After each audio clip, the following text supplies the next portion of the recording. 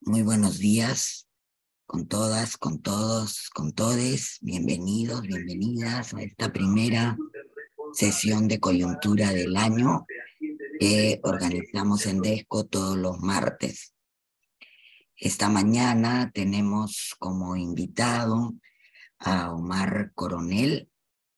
Omar eh, es licenciado en Sociología de la Pontificia Universidad Católica del Perú, pero también tiene un magíster y es doctor en ciencia política por la Universidad de Notre Dame. Él actualmente es docente en el Departamento de Ciencias Sociales de la PUC y eh, se especializa ¿no? en el análisis, el estudio de los temas que nos convocan esta mañana, que tienen que ver con los movimientos sociales, las protestas sociales, o el tema del, de las manifestaciones de la sociedad civil, no solamente en el Perú, sino en América Latina.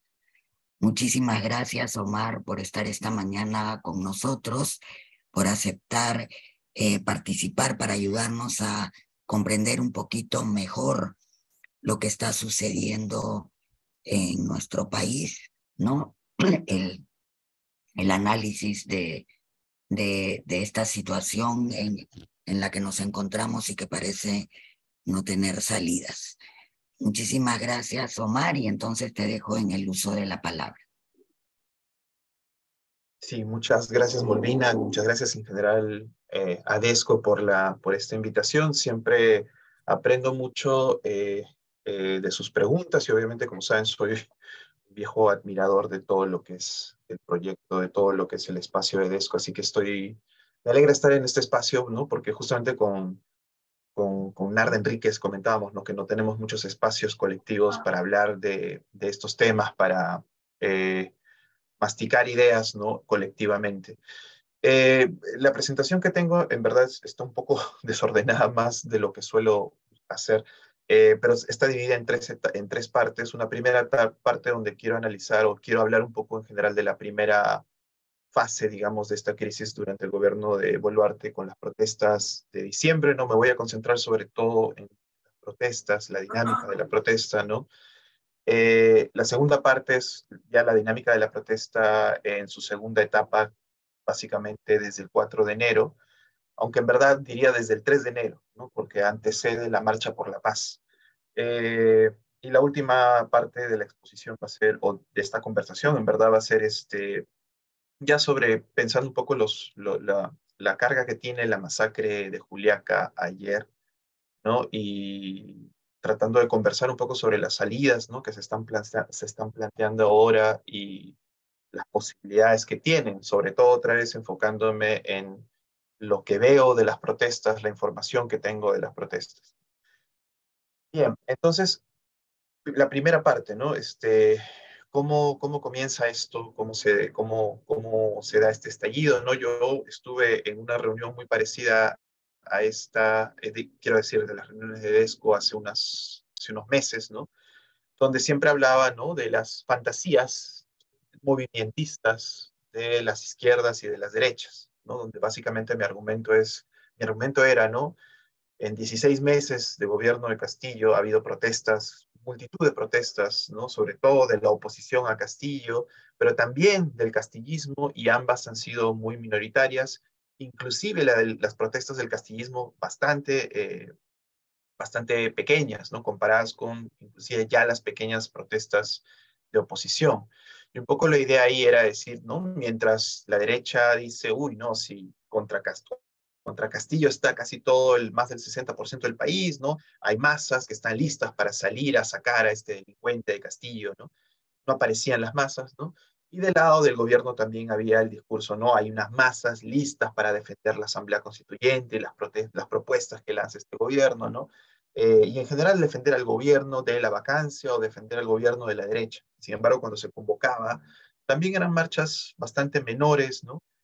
Con la única excepción de eh, noviembre ¿no? del año pasado, cuando tanto la oposición como las, las organizaciones pro gobierno organizaron marchas un poco más nutridas. Igual ambas con menos de 10.000 eh, manifestantes ¿no? en Lima, eh, pero un poco más nutridas de lo que habían sido en los 16 meses del gobierno de Castillo. Pero básicamente esa era la idea, ¿no? Y que cuando, si Castillo, digamos, este, comanda a la gente a salir, probablemente va a haber poca gente eh, que defienda propiamente a Castillo. Y, en, sin embargo, claro, cuando eh, lo que tenemos en el 7 de diciembre, el autogolpe de Castillo, ¿no? Es un autogolpe como sabemos todos, bastante breve, bastante eh, eh, que no se concreta, ¿no? Que no rápidamente Castillo es, este, en menos de dos horas, Castillo es este, capturado y en menos de cuatro horas luego del golpe o del autogolpe, eh, Boluarte está asumiendo como la primera presidenta del Perú, ¿no? Entonces, en, hasta ahí, digamos, la idea de que, que, que, varios habían señalado, ¿no? De que Castillo es un actor político sumamente débil y que dado si en algún momento se le ocurriese eh, quebrar el orden democrático, pues no va a tener el apoyo de nadie, ¿no? Eso más o menos se vio, ¿no? Sin embargo, eh, y claro, en esas dos horas o cuatro horas hasta que Boluarte asuma, no había, digamos, este, sobre todo los, los sectores que apoyan al gobierno estaban bastante silenciosos, ¿no? ¿Quiénes apoyan al gobierno? ¿Quiénes apoyaban al gobierno en ese momento? Fundamentalmente algunas organizaciones de base que no tienen demasiada eh, base, pero tienen, que tenían tienen una presencia territorial importante. No pienso en la, la CGTP, la CNA, ¿no? este, las, el, las rondas organizadas en la CUNARC-P, ¿no? este, las bases del FENATE, ¿no? y alguna red de, de algunos frentes de defensa regionales y subregionales, digamos, ¿no? que eh, el gobierno había eh, con el, que el gobierno había dialogado, había inclusive reportado algunos, este, algunos beneficios para algunas de esas, organizaciones o cumplido alguna de las demandas, sobre todo con la CGTP. Esas eran, durante el, durante el autogolpe, digamos, no están relativamente silenciosas, ¿no?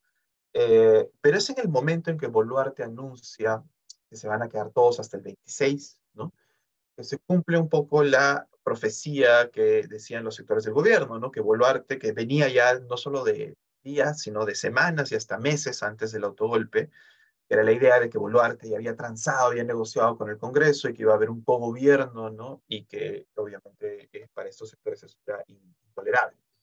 Eh, cuando Boluarte anuncia que se van a quedar hasta el 26 todos, yendo en contra, digamos, de la opinión del 86% al menos del país, ¿no? De acuerdo a lo que recogía el IEP también en el mismo mes de noviembre, eh, en el mes pasado, quiero decir, ¿no? El mes pasado de noviembre, este, ahí es cuando comienza, digamos, eh, los sectores, sobre todo inicialmente castillistas, a organizar una, una resistencia contra Boluarte. El mismo 7, el 8 y el 9 son protestas que están en buena parte del país, ¿no? La Defensoría, y ahí después hablaremos quizás de la, discrepancia entre los datos del Ministerio del Interior y la Defensoría del Pueblo, ¿no? Y obviamente también de PCM. Eh, la, policía eh, hacía un subregistro notable de la, del número de gente que participaba en las protestas entre el 7 y el 9 de diciembre, y también de la presencia en regiones, ¿no? Me parece que ellos reportaban presencia, este, qué sé yo, en 5, 6, 7 regiones, ¿no? La Defensoría a las 8 de la noche del 9 de diciembre ya reportaba presencia en este, 20 de las 24 regiones, ¿no? Y reportaba 30 eventos de protesta, no solamente el 9 de diciembre, ¿no? Este, y sin embargo, no eran protestas masivas, eran relativamente focalizadas. Y a diferencia de otras protestas grandes que hemos tenido, la gente siempre tiene en mente el estallido del 2020, no eran, no, eran protestas que partían de grandes ciudades, ¿no? sino más bien de ciudades más pequeñas que están fuera de las capitales de provincia. Entonces, este, eso y eh, en base a organizaciones locales, ¿no? muy este, eh, eh, más cercanas a lo rural que a lo urbano en muchos casos. Eso, eso le da a la, protesta en esos días una morfología muy distinta a lo que habíamos visto antes, pero también un número minoritario, si una presencia territorial más extendida, un número minoritario. El 11 de diciembre, eh, todavía eh, en, esta, en, esta, en las protestas de diciembre, ¿no? el gobierno de Boluarte decide eh, arreciar ¿no? con una represión brutal. ¿no? Los primeros fallecidos se reportan el 11 de diciembre, ¿no? entre ellos un niño, un menor de edad, y desde ahí no para, ¿no? para la represión y yo creo que ahí comienza una segunda fase de, la escalada de las protestas. ¿no? Si en un primer momento era más sobre todo estas estas, esta red de organizaciones y actores sociales cercanos a Castillo y que tienen obviamente una, un rechazo mucho más activo, mucho más profundo al Congreso, ¿no? Ese bloque sobre todo pedía eh, el cierre del Congreso en primer lugar, ¿no? La salida de Boluarte, nuevas elecciones y también, ¿no? Liberación de Castillo y Asamblea Constituyente. ¿no? Están estos temas en la, en la agenda inicial de este bloque más castillista y que se opone más movilizadamente al Congreso. ¿no? Eh, pero una vez que comienza la represión, desde el 11 de, desde el 11 de diciembre, se van sumando otras organizaciones. De ahí, organizaciones que no, había estado, no habían estado muy cerca a Castillo o que lo habían rechazado, ¿no? Pienso, por ejemplo, en la IDCEP, ¿no? Como saben, la IDCEP, la columna vertebral del movimiento indígena amazónico, tiene varias organizaciones, tiene multiplicidad de organizaciones, digamos, articuladas a ella. Hay algunas que sí se vincularon un poco más o se acercaron un poco más al gobierno de Castillo, pero la gran mayoría mantuvo bastante autonomía y crítica al gobierno de Castillo, en parte porque el gobierno de Castillo no cumplía, no cumplía la mayoría de sus promesas y ofertas que hacía permanentemente. Pero yo creo que en esa segunda fase, aún en diciembre, eh, la protesta empieza a crecer porque se suman organizaciones grandes que no habían, que no habían sido parte del castillismo, no en parte de estas organizaciones amazónicas vinculadas a IDC.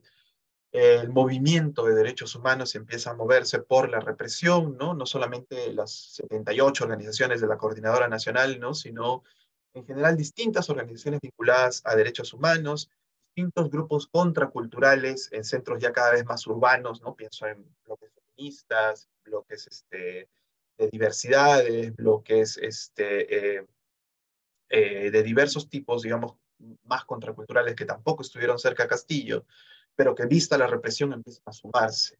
Y ahí es el punto importante porque en esa segunda fase empiezan a sumarse un bloque que no había estado con Castillo o con estas protestas chiquitas contra Castillo en su gobierno o en esta primera fase de la escalada, que son los jóvenes, la juventud, los universitarios. ¿no? Recién en esta segunda fase, entre el 11 de diciembre y la masacre de Ayacucho, ¿no? el 15 de diciembre, se empieza a ver comunicados de organizaciones de sociedad civil, como no sé, el Colegio de Abogados de Tacna, este, eh, federaciones de estudiantes en Ayacucho, en Cusco, en, sobre todo en el sur, hay que decirlo, pero también en el resto, en el resto del país, ¿no? Eh, en Cajamarca, por ejemplo, ¿no? hay, una, hay una toma de la universidad, ¿no? Eh, pero en Cajamarca, por ejemplo, la protesta no fue tan fuerte en la ciudad misma, sino en el norte y el centro de Cajamarca, ¿no? Este, eh, de la región. Más en Jaén, más este, eh, en, la zona, en la zona central que en la zona de, de la ciudad de Cajamarca hacia el sur.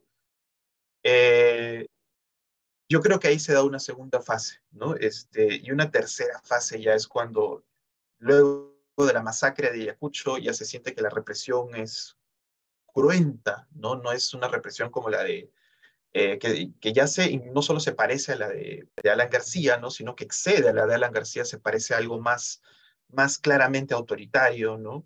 Eh, y ahí es donde yo creo que mucha gente se indigna y empieza la protesta a ser más masiva, más grande, no más multitudinaria, y se, empieza a, se empiezan a involucrar sectores muy heterogéneos, ¿no? O sea, eh, sectores que empiezan, por ejemplo, pienso en un ejemplo de en Cusco, ¿no? Frente, no recuerdo el nombre del hotel, empiezan las protestas en el contexto de, de la escalada, ¿no? Protestas contra ese hotel, porque un hotel este, en Cusco se había tomado tierras de, de la población y era un enfrentamiento, un conflicto que venía de años, ¿no? Bueno, en el contexto de este avance también otra vez se lucha contra ese hotel, ¿no? Entonces, a lo que voy es que muchas protestas vinculadas a casos de, corrupción, de minería, de este, tierras, ¿no? Eh, empiezan a mezclarse con toda la bronca contra el gobierno por la represión y por la sensación de que gobierna el, la institución más odiada del país, que es el Congreso. No solo así se explica que ya, ya sí fuera masiva, eh, eh, sobre todo en esos días ¿no? de, la, tercera semana de diciembre. Entonces, eh, ahí yo creo que, que creció bastante la protesta y también se involucraron otros actores, ¿no? La prensa se, se ha enfocado mucho en los actores radicales, la izquierda radical, ¿no? Y este, en los actores criminales, en los actores vinculados a economías criminales. ¿Existen? Por supuesto que existen, ¿no? Cada vez que hay una o una protesta muy grande, eh, obviamente estos actores también tienen intereses, ¿no? Yo creo que eh, los actores radicales, que siempre hay, con todos los que estudiamos conflictos, hemos visto que casi en cada comunidad donde hay un conflicto hay siempre liderazgos más moderados, más radicales, ¿no? Eh, mi impresión es que la, el nivel de represión y el discurso del gabinete de Boluarte, ¿no? de su, el primer primer ministro y en verdad del segundo también, eso ha hecho que se empoderen los liderazgos radicales en cada espacio local, diciendo, ya ves, están haciendo exactamente lo que dijimos que iban a hacer, están, están matando, están masacrando, los medios concentrados de Lima no están cubriendo, ¿no? Este, los analistas no están hablando del tema, ¿no? Y este, eso empodera, empodera mucho a la, a la dirigencia, a las dirigencias radicales, ¿no? Ahora, que estas dirigencias radicales estén articuladas, ¿no? Y haya una especie de plan ideológico montado por una organización como Movadef o como los etnocaceristas, ¿no? Eh, eso no es realista. Cualquiera que haya seguido también en los últimos 20 años, eh, o bueno, Movadef en verdad tiene desde el 2009, ¿no? En los últimos 13 o 14 años, la historia del Movadef, ¿no? Este, sabe muy bien que no, no son una organización de esa, de esa dimensión, con ese tipo de capacidad. Hay actores ¿no? que están vinculados, tienen su, sobre todo la, el interés de la, eh, cambios, digamos, en, la, en, el régimen penitenciario para sus familiares, y tienen un discurso sobre la violencia que obviamente quieren, este, eh, sobre lo que fue la violencia de los 80 que quieren imponer, ¿no? Y tienen también una, una, eh, una, una praxis y una retórica eh, más violentista, ¿no? Pero no son actores que estén articulados, estructurados y que estén planificando las protestas en todo el territorio nacional o en el sur o en alguna región, ¿no? no eso no existe. ¿no? Del, del, lado del etnocacerismo es algo parecido. El etnocacerismo está recontra fragmentado, dividido. Hay etnocaceristas que se suman a las protestas, pero pensar en una central, una organización, estructura, también es no conocer, lo que es el etnocacerismo este, en el 2021, en el 2022. ¿no? Eh, el problema yo creo que sí está, sí, más que fijarse en Movadef, deberían sí fijarse en eh, las economías criminales, ¿no? Me pareció escuchar algo, Eduardo, que estaba hablando un poco antes de que llegara y no sé si se refería a eso, pero, pero creo que sí, o sea, esos actores sí tienen una presencia más fuerte, sí están más, más organizados, básicamente porque tienen más recursos. ¿no? Entonces, esos sectores, no, ellos no explican la masividad de la protesta para nada, pero sí son actores que han estado eh, presentes en muchas protestas, que han ayudado, digamos, a que la situación escale, ¿no? Eh, ejemplo clásico es Chala, ¿no? En Arequipa, donde estos actores tienen una larga trayectoria de acción colectiva muy violenta, ¿no? El uso de dinamitas no es una novedad del 2022, ¿no? Estos sectores, los mineros informales utilizan dinamita para protestar.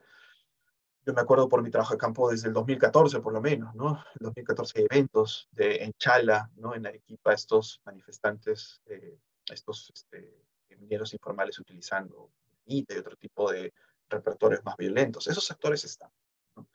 Que esos actores expliquen la masividad o encaucen la protesta tampoco es serio, ¿no? pero sí están y sus recursos eh, monetarios, sus recursos ¿no? que ayudan a la organización, también es, es importante no, no negarlos, no invisibilizarlos, más bien estudiarlos más a fondo. Eh, y bueno, para finales de diciembre entonces lo que teníamos era una protesta mucho más grande mucho más heterogénea, tanto en demandas, ¿no? que ya no solamente eran las cinco clásicas demandas castillistas, ¿no? sino demandas que tenían que ver con en contra de la represión, eh, por la justicia y la reparación, digamos, de las víctimas, ¿no? y demandas también vinculadas a eh, reforma policial, a, digamos, este, cambio del gabinete, democratización de Dina Boluarte, o sea, ya más acusaciones al propio autoritarismo de, eh, a, las propias acciones de Dina Boluarte, ¿no? Entonces había heterogeneidad en demandas, heterogeneidad en actores sociales en la protesta y heterogeneidad en repertorios. No toda la protesta ha sido violenta. Ha sido una protesta mucho más intensa que la protesta, que protestas pasadas de esta escala, ¿no? Eh, pero no todos, no todos los actores ni, necesariamente la mayoría de los actores que han protestado han utilizado repertorios eh, violentos, como a veces se, posiciona en, los medios de comunicación. Yo siempre hablo de por lo menos tres tipos de violencia, que igual es condenable porque, porque es violencia, pero es importante diferenciarlos, ¿no? Está la violencia expresiva, cuando uno ve que están masacrando a la gente y la gente sale con mucha rabia a responder, ¿no? A destrozar cosas, ¿no? O cuando uno eh, eh, toma pues algunos e-, edificios públicos como representantes de ese gobierno alejado que se está masacrando, ¿no? Violencia expresiva, violencia eh, eh, reactiva, sobre todo la policía cuando provoca o cuando empieza a veces este, la confrontación, que todos los que hemos estado en protestas sabemos que eso no es para nada inusual. Y el otro bloque que sí es el, el que debería preocupar, violencia organizada, ¿no? Tomar un aeropuerto tomar una fábrica, tomar este, eh, eh, instalaciones, ¿no? Eso sí demanda una cierta organización y eso sí es, y retener, por ejemplo, a guardias o policía, ¿no? En esas tomas. Eso implica un nivel de violencia más organizada que creo que sería en el cual se debería estar fijando mucho más la inteligencia, ¿no? Eh, pero no, no hay esa diferenciación, no hay esa, no, no, obviamente no, no, no hay esos matices. Entonces, esto para cerrar, digamos, la, la lectura, digamos, la lectura que tengo, la, la, información que tengo además sobre esta primera etapa en diciembre que se cierra, sobre todo con la, el desalojo en Capachiato, ¿no? Este, en Cusco, en Camisea, que a mí me llamó mucho la atención porque yo me esperaba lo peor. Este gobierno no respeta nada. Pero el desalojo en Quepachiato, en Cusco, eh, hubo, hubo heridos, hubo hasta mal, si mal no recuerdo, un par de heridos, pero no fue eh, con la violencia que yo esperaba, ¿no? Fue más bien más, eh, más, más inteligente el, desalojo. Mi esperanza era que el gobierno se haya dado cuenta de, que 28 ciudadanos fallecidos no puede, no puede gobernarse un país así, y obviamente no si esto crece, ¿no? Y que estaba intentando algún cambio, pero rápidamente eso se desmiente, ¿no? el discurso del gobierno, del, del, Consejo de Ministros, de la presidenta, eh, bueno, la presidenta es absolutamente evasiva, ¿no? No, no, no, no, este, explica muy bien sus acciones, ¿no? Pero Tarola sí, ¿no? Tarola es mucho más, eh, más claro en, la, en el tono del gobierno. Eh, bueno, la segunda etapa ya es, no comienza el 4 cuando se había programado el reinicio de las protestas, sino comienza el 3 pero no con las protestas de los manifestantes en contra del gobierno, sino con, con protestas eh, por la paz, marchas por la paz, como se llamaron, ¿no? Eh, antes del, del, 3 de enero ya habían habido por lo menos 24 protestas por la paz, de acuerdo a la Defensoría del Pueblo, ¿no? sobre todo eh, muy nutridas ¿no? en Junín y en Lima, obviamente. Una novedad de esas protestas era que estaban muy activos los mismos, eh, no solamente los mismos protagonistas, digamos, de las marchas contra el fraude, supuesto fraude electoral del 21, o las marchas contra, a favor de la vacancia de Castillo, ¿no? Sino que también está involucrado un sector religioso amplio, ¿no? Este, un frente de cristianos por la libertad, como se llama, donde está el congresista Muñante, que buena, en buena parte recoge mucho de la experiencia organizativa de Con mis hijos no te metas, ¿no? Que hizo eh, decenas de acciones colectivas exitosas entre el 16 y el 19. O sea, ahí hay un músculo organizativo interesante que eh, ha apoyado en parte las marchas por la paz, ¿no? Pero lo importante no era tanto eso, sino el rol de la policía. La policía convoca y es más, intenta organizar, la, servir como, como recurso organizativo de la marcha por la paz, ¿no? Con lo cual, obviamente, la policía se está eh, eh, involucrando en una marcha claramente política. Eh, eso es muy grave, eso es muy grave porque eh, en, muchos, de muchos de quienes ¿no? tipifican las democracias, estos politólogos que ven indicadores, puntos, ¿no? un tema crucial es la independencia de este tipo de instituciones, como la policía, ¿no? que la policía se esté utilizando como instrumento organizativo de protestas en defensa del gobierno, es algo, es una eh, es una marca muy característica de autoritarismos, de dictaduras. La literatura sobre esto, sobre todo, eh, se, estudia en el caso de Rusia, ¿no? la Rusia de Putin, ¿no? pero obviamente también se ha visto en el caso de, Venezuela o de Nicaragua. Entonces, esa línea cuando se cruza es, es, mucho más claro la deriva, es mucho más clara la deriva autoritaria del gobierno. ¿No? Además que venía acompañada de otros indicadores que nos hacen pensar que la de, nuestra democracia, que siempre ha sido débil, ¿no? desde la transición, estaba en un escalón inclusive más bajo que durante el gobierno de Castillo, ¿no? porque lo que se veía ahora es una instrumentación de ese tipo de la policía y además este, un acoso muy claro a la oposición, ¿no? Con las intervenciones de partidos, de organizaciones sociales, ¿no? Eh, y esta sensación de reducción de la libertad de expresión con estudiantes en muchos campos universitarios, este, sobre todo públicos en el sur del país, denunciando que no, no les dejan no solamente protestar, sino, digamos, poner algún afiche, hacer, alguna, hacer algún conversatorio, ¿no?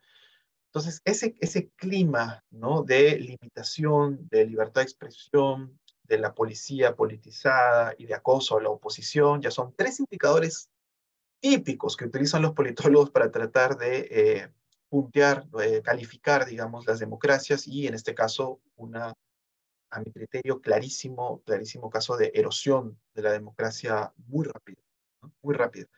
Eh, eso entonces el 3 de diciembre ya había comenzado, el 3 de enero, perdón, ya había comenzado esa protesta, ¿no? que dicho sea de paso, no terminó no siendo demasiado exitosa, ¿no? Si bien tuvo presencia en distintas regiones. En Lima fue menos de un millar, ¿no? menos de mil manifestantes. Eh, lo cual nos dice algo también, ¿no? De, de, de, los actores que están tratando de, movilizar esa defensa del gobierno. El 4 comienza entonces ya esta nueva etapa del, eh, de las protestas. ¿Son más o son menos que las de diciembre? de acuerdo a cifras de la Defensoría, hay, hay, hay menos eventos de protesta, ¿no? Eh, eh, pensando en el número de días, ¿no? Y claro, uno piensa en, el número, en los números que reporta Sutran, y claro, hay, en el pico de la protesta de estos días, ¿no? Que ha sido, me parece, un par de días, hay la mitad de puntos eh, de caminos, digamos, bloqueados, ¿no? Este, me parece que eran 65 o 69, ¿no? Versus los 120 puntos bloqueados que se alcanzó el 15 de diciembre, que fue el punto máximo de la protesta del, de, la primera, de la primera etapa, de la etapa de diciembre. Eh, entonces, sin embargo, es una protesta bastante intensa todavía, ¿no? que tiene además mucha presencia, sobre todo en el sur, pero como decía al inicio, no solamente en el sur, ¿no? Este, la, protesta está en, en, en, Oriente, en distintos puntos de, de, la Amazonía donde se ha seguido, ¿no? Muchas, AIDESEP no se ha plegado al reinicio, pero muchas organizaciones, varias organizaciones cercanas a AIDESEP sí se han plegado, ¿no? Eh, pero claro, en Puno es donde, eh, en, el sur es donde es más fuerte y en Puno en particular, ¿no? Ahí lo que quería mencionar es que efectivamente hay eh, una articulación ¿no? de la macro región sur de muchas organizaciones, sobre todo cusqueñas, puneñas y arequipeñas, creo yo. Eh, y claro, también de Apurímac, ¿no? Pero sobre todo, claro, los que están a la cabeza son muchas organizaciones, al menos en, las alocuciones iniciales, organizaciones arequipeñas, ¿no? Ahí me ha sorprendido a mí ver a, a, dirigentes de la FADA en Arequipa, ¿no? A José Chapa, ¿no? que es el secretario de la, de la, perdón, no de la FA, de la FDTA, ¿no? de la Federación de Trabajadores de Arequipa, eh, con otros dirigentes muy conocidos por todos los que han estudiado Arequipa probablemente, ¿no? del Fredicón, de, este, el, el, doctor del Carpio, ¿no? este, todos estos eh, dirigentes muy conocidos que son eh, varios de ellos los mismos o dirigentes que estuvieron en el Arequipazo hace 21 años. Eh, pero también otros dirigentes nuevos, ¿no? Eh, y lo que me ha sorprendido es que luego en las protestas, la CGTP o estas organizaciones no, no parecen haber sido necesariamente protagónicas, ¿no? Sino otras organizaciones locales más dispersas, ¿no? Este, fuera de la ciudad de Arequipa inclusive, ¿no? Eh, ahí es donde uno ve el comunicado de este comando de lucha de la macro región sur y ve otros comunicados que yo inicialmente me preguntaban, ¿son falsos? ¿No son falsos? Porque eran comunicados que pedían, no sé, pues este, linchar a la policía, ¿no? Cosas por el estilo. Y hay, hay muchas noticias falsas, ¿no? Para deslegitimar la protesta. Pero hay muchos de esos hay algunos de esos comunicados que no son falsos, ¿no? Lo cual nos hace pensar en una fragmentación de estos liderazgos, ¿no? que denuncian inclusive a los liderazgos a veces de la ciudad de Arequipa, por ejemplo, como ser más, más, este, más, más, más tibios o que buscan negociar más, ¿no? que no están buscando una salida realmente radical. ¿no? Entonces, cuando a mí, cuando yo escucho a, amigos, ¿no? Este, activistas decir que no se está articulando la macroregión sur, no hay una demanda de secesión inclusive, ¿no? Me queda mucho la duda porque lo que veo es mucho, más bien más fragmentación y liderazgos que desconfían mucho los unos de los otros y donde se fomenta mucho la competencia por radicalismos, ¿no? que es otra dinámica clásica cuando faltan liderazgos que más bien este, la competencia para hacerse, para parecer una organización más legítima en esa circunstancia es este, competir por quién es el más radical, el más ultra, el que va hasta las últimas consecuencias, ¿no? Y entre esa dinámica y el discurso del gobierno, que solamente promueve más este, violencia, eh, esos liderazgos radicales están empoderando o se están apartando, digamos, de otros liderazgos moderados, ¿no? Yo creo que en Puno eso es mucho de lo que ha ocurrido. Eh, por mi trabajo de campo, por el conocimiento que yo tengo, al menos eh, aquí, aquí, podemos discutirlo, ¿no? Mi impresión es que en Arequipa sí hay unas ciertas organizaciones un poco más eh, coordinadas, en parte porque tienen experiencia de cooperación, no solo desde el Arequipazo, inclusive antes del Arequipazo, ¿no? Eso es lo que veía en, en el trabajo de campo de investigación. En cambio, en Puno hay mucha organización, pero que no ha cooperado, sin experiencia de cooperación, ¿no? que, es que desconfían, ¿no? los sectores de la vieja izquierda desconfían de los ecologistas, que desconfían de los indigenistas, los indigenistas más aymaras, ¿no? de los indigenistas de algunas partes de la zona aymara versus otros, ¿no? esa fragmentación que generalmente promueve competencias por radicalismo. Eh, he visto más de eso en esta segunda etapa de, de, enero, ¿no? de estas organizaciones más locales en el sur, ¿no? Que la presencia de organizaciones que yo pensaba ver con más protagonismo, ¿no? Como la CGTP, este, los ronderos, FENATE, ¿no? Los ronderos, la CUNARC-P ha sido, ha tenido un rol más bien bastante moderado en, estas, en, la etapa de las protestas en enero, ¿no? Eh, el FENATE, la CGTP se han diluido, digamos, también del protagonismo, ¿no? Más bien están estos otros liderazgos más locales que desconfían mucho de los liderazgos nacionales, que es buena, en buena cuenta la, la danza que hemos tenido estos, estos 20 años. Para terminar entonces, eh, la última parte de la exposición es ya sobre los, los, los, los trágicos eventos de, de, ayer, ¿no? la masacre de Juliaca, con la que se suman ya tres masacres. ¿no? Ya tenemos, según datos de la Defensoría, 39 ciudadanos fallecidos por la represión en las protestas, ¿no? Eh, siete ciudadanos que han fallecido eh, por accidentes vehiculares o por el tema del bloqueo, ¿no?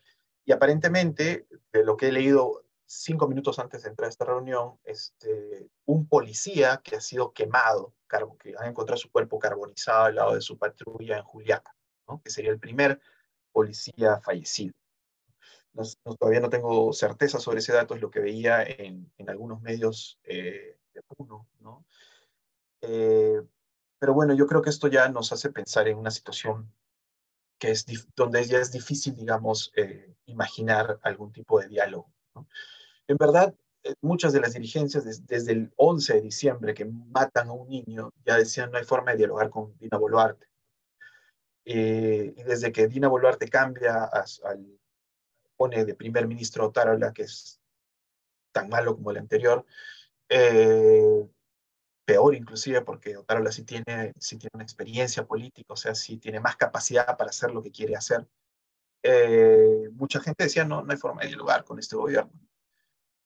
Eh, yo creo que ahora sí ya eso es, es una realidad más concreta, ¿no? Es eh, dialogar con un gobierno que tiene 40 y tanto, o sea, más de 40 fallecidos en tan poco tiempo es bien difícil. pienso en perspectiva también, o sea, la, el nivel de violencia por el el número, la forma y el tiempo que ha tomado este nivel de violencia se parece mucho más a la violencia de la dictadura venezolana, por ejemplo, la represión a los manifestantes en Venezuela en 2017, que alcanza cifras y números parecidos, ¿no? que a la represión que ya era autoritaria en Chile en el 19 o en Colombia en el 21. Colombia en el 21 era una violencia que uno decía, es increíble que se haya llegado a ese nivel, y en Perú ya es bastante más alto que eso. ¿no? Eh, lo cual nos habla de un gobierno que sí, pues tiene, tiene parece no tener ningún, eh, tener el, el, el, pensamiento Willax, ¿no? Este, esta sensación de que efectivamente quienes están del otro lado son terroristas, son subversivos y vale eh, eh el discurso de Otaro ese, ¿no? Somos 33 millones contra estos enemigos del país. Eso es plantear el conflicto como una guerra, ¿no? Eh, y en esos términos, obviamente, eh, quienes están protestando no pueden dialogar con, no hay forma de que dialoguen con Boluarte, ¿no? Este, Felipe Domínguez del Freicol lo decía inclusive antes de la masacre de Juliaca, ¿no? Este, yo creo que eso es, ahora es mucho más, mucho más patente, por lo cual se están sumando también otras organizaciones vinculadas a derechos humanos y grupos contraculturales que siempre miran con cierta distancia esta escalada de protestas. Yo creo que porque todavía está dentro el tema de la liberación de Castillo, con que un tema con el cual que genera mucha discrepancia, y también obviamente por el, el uso de la, repertorios muy violentos en varias protestas, ¿no? que también distancia a otros sectores eh, centro moderados. ¿no? Pero también creo que hay, un, hay, hay, una dolorosa mayor tolerancia a los muertos fuera de Lima que dentro de Lima. Eso también, eso también, eso también hay que decir. Bueno, solamente termino mencionando eso, eh, esa, ese impasse obviamente con Boluarte. ¿no? Yo leía un artículo de Juan Carlos Ubillus con el cual estaba bastante de acuerdo antes de la masacre ya de, de, de Juliaca, donde él decía, ¿no? Ahí parece haber unas, que muchos dirigentes piensan en una salida, la salida Sagasti, el Sagasti, ¿no? que es este, que va a haber una protesta tan grande y tan masiva que no solamente va a tumbar a Boluarte, sino que va a obligar al Congreso a que elija una mesa directiva de centro, ¿no? de donde se elija un presidente que al menos nos, pueda liderar una transición. Eso ocurrió en 2020 porque habían 2.7 millones de peruanos movilizándose y el Congreso estaba rodeado el domingo 15 de noviembre del 2020, luego del asesinato de Inti de Brian. ¿no? Eso no ocurre ahora. Además, había 94% en contra de Merino. Eso no ocurre ahora. Entonces, ese es, ese es, este, eso, eso puede cambiar. Yo creo que sí, o sea, depende mucho de tanto del lado de eh, cómo las demandas se van articulando, el, el, el uso de eh, la violencia en la represión, el uso o no uso de la violencia en la represión, que puede sumar más gente, ¿no?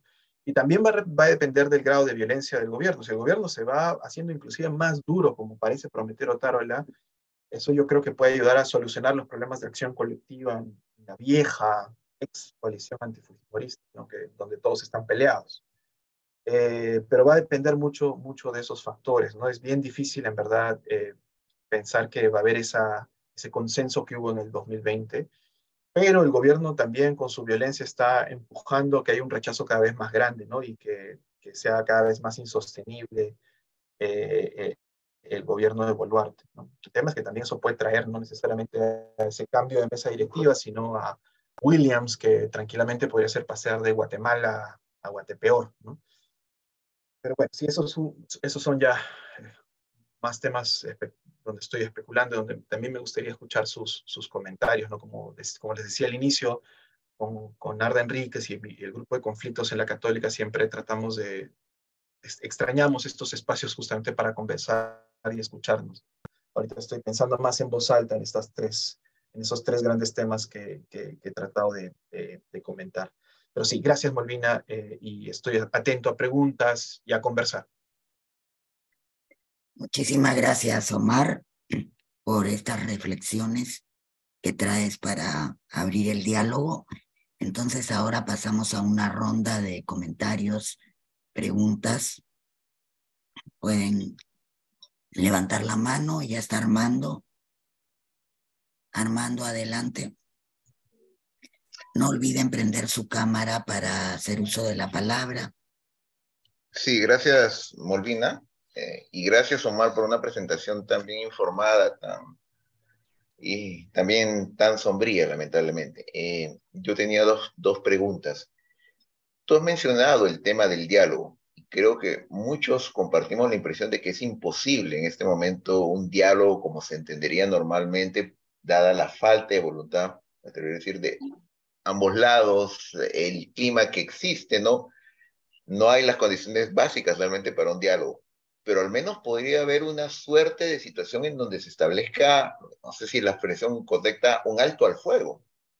Y ahí yo me pregunto, ¿quién podría ser el agente, si existe un agente con la suficiente legitimidad para servir de puente o barrera o colchón entre los sectores en disputa? Y veía el comunicado de la Comisión Episcopal, de la Conferencia Episcopal, y decía, bueno, quizá la iglesia, y si no es la iglesia, entonces, ¿quién podría ocupar ese lugar, no? Ayer vimos lo, la escena patética del Acuerdo Nacional, que bueno, es una galería de fantasmas, pero evidentemente por ahí no pasa el tema de ningún diálogo o acuerdo mínimo, por lo menos de un alto fuego. Entonces, ¿existe esa gente? ¿Podría ser la iglesia o otro similar?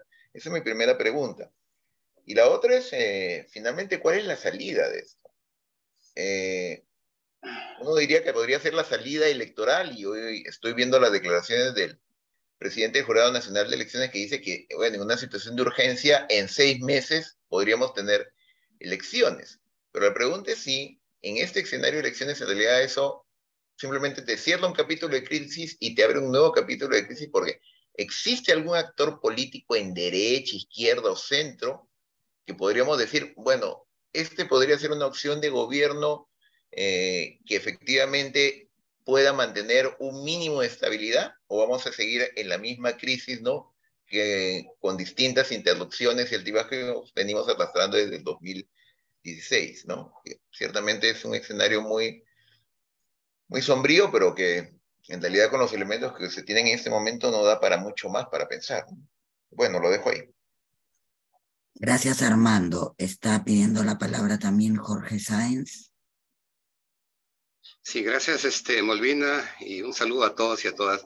Armando lo comentó algo que yo también quería decir algo parecido, este tema de, claro, la única solución es la renuncia de Boluarte y que se llame, y se llame a elecciones. Pero ahí también viene la pregunta, ¿no? ¿Qué, ¿Qué, viene después, no? O sea, ¿se puede hacer las elecciones en este año 2023? Se dice que sí se puede. Pero entonces ahí el, el, el, problema o, lo, que hay que ver es que, que, puede haber algunas fuerzas o fuerzas políticas que garanticen que tengamos un Congreso, digamos, más progresista, que esté preocupado en el ejercicio de derecho de todas las personas, pero también, este, digamos, un candidato, una candidata o alguien que, que, que, sea elegido como presidente o como presidenta que también esté con este tema, porque si no vamos a estar siempre con estos presidentes, con, con una política neoliberal y que no va a solucionar los problemas ni, ni los derechos que se puedan ejercer de todos nosotros. Entonces, ¿qué hacer, no? Que en estos seis meses, siete meses, ¿qué puede pasar para que, digamos, y repito, sea, la única solución es la renuncia a Baluarte y que se llame elecciones, pero ¿qué cosas se puede hacer o qué se debe hacer para que podamos que se pueda garantizar otro tipo de gobierno que sea más inclusivo y con todo lo que nosotros queremos, ¿no? Y también este, el otro tema era de las agendas de, los, de las movilizaciones sociales, ¿no? Ahí se está aclarando, ahí está leyendo de que no están pidiendo, y es obvio, este, la, la vuelta o la liberación de Castillo. Entonces también cómo diferenciar estas agendas. Y ya no hay diálogo, pues, porque allá después que hemos escuchado mismo más Hernández su día en RPP pidiendo el diálogo, ya no hay diálogo. Yo creo que más bien el diálogo se puede dar después de la renuncia de Boluarte para ver cómo se puede trabajar o qué se puede hacer para que esta transición sea democrática, obviamente, pero también con algunas arreglas o reformas institucionales para garantizar, digamos, la gobernabilidad del país. Gracias. Gracias, Jorge. Alex. Alejandro Gracias, Omar, por la presentación. Yo te quería, bueno, yo no soy tan optimista de que hay solución con la salida de Boluarte, o sea, porque lo que se viene podría ser fácilmente peor, ¿no? O sea, digamos, si va con Williams, todo eso estamos perdidos. O sea, este, más bien yo te quería pedir una especie de reflexión, de síntesis en voz alta, ¿no? Sobre, vamos a decir así, el movimiento de la movilización en el tiempo. ¿No? Es decir, cuáles han sido los actores que tú ves más constantes, ¿no? ¿Cuáles son estos actores? ¿Qué posibilidades ves, ¿no? Vamos a decir así, de articulación entre las demandas y de algún cambio en las demandas. O sea, digámoslo así, porque el tema es que hay demandas, vamos a decir, maximalistas y hay otras demandas que son, vamos a decir, este, se pueden conseguir.